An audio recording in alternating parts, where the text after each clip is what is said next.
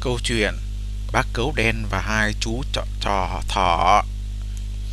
Bác cấu đen đi chơi về muộn Trời mưa to sấm chớp đùng đùng.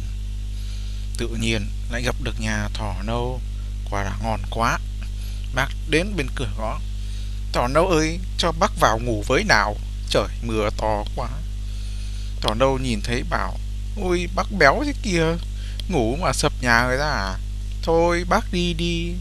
Bác đừng đến đây nữa. Không được đâu. Thế là bác cấu đen lại tiếp tục đi trong mưa bão. Bão bùng bão bùng. Ừ, May quá. Lại gặp được nhà thỏ trắng rồi. Bác lại đến bên ngõ cửa. Thỏ trắng ơi, thỏ trắng ơi, cho bác vào ngủ với nào. Thỏ trắng nhìn thấy bác cố đen bảo um, Mời bác vào đây ngủ. Trong lúc đó Nhà của thỏ nâu bị một cơn sét đánh trúng và cháy rụi hết cả nhà.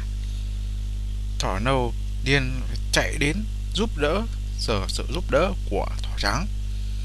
Cốc cốc cốc bạn thỏ trắng ơi, giúp tôi với. Thế là cả bác gấu và bạn thỏ trắng đều ra giúp. Thế là cả ba người rủ nhau vào nhà ngủ đến sáng. Câu chuyện của chúng tôi đến đây là kết thúc. Cảm ơn các bạn đã quan tâm theo dõi. Xin chào và hẹn gặp lại.